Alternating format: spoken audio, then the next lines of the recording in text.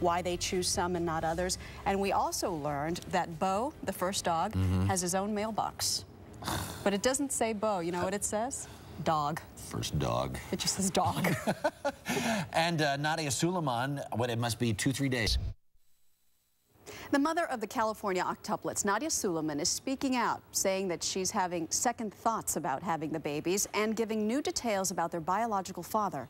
CBS News correspondent Terrell Brown is here with me with the latest. Good morning. Hey, good morning to you, Maggie. Yeah, and for the first time, controversy here and still trying to figure out how exactly she is going to pay mm -hmm, to take care of mm -hmm. these mm-hmm. kids. By the way, $30,000 expense that we were just talking about a month. It is for 14 kids. kids. And, right. and, I know Gloria Allred, whom we saw in your piece, was a big proponent of that court-appointed uh, guardian because right. they're going to make $250,000 per child during this reality Jeez. show. I have to see how it plays